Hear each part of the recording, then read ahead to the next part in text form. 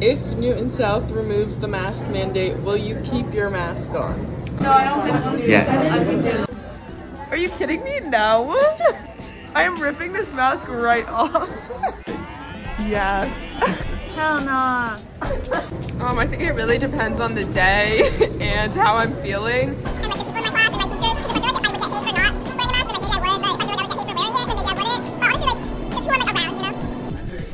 I'm not sure if I'm ready to take off my mask yet. I'm undecided.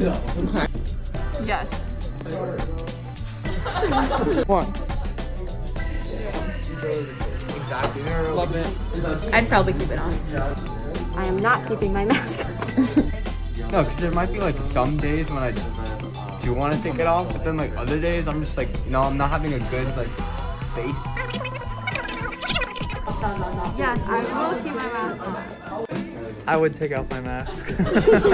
yeah, I guess a little bit. Because my grandma, I don't want, I don't want.